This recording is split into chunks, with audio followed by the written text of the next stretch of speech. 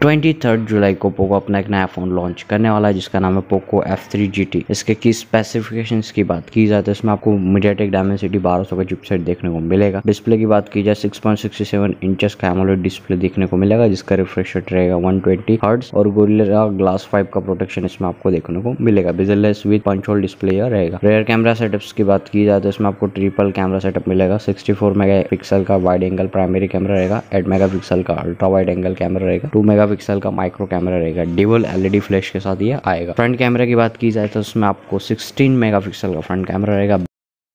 Battery की बात की जाए तो इसमें आपको पाँच हज़ार पैंसठ एम की बैटरी मिलेगी। साथ में आपको 67 वाट फास्ट चार्जर मिलेगा। इसमें आपको जो चार्जिंग पोर्ट रहेगा वो टाइप सी पोर्ट रहेगा। USB type C port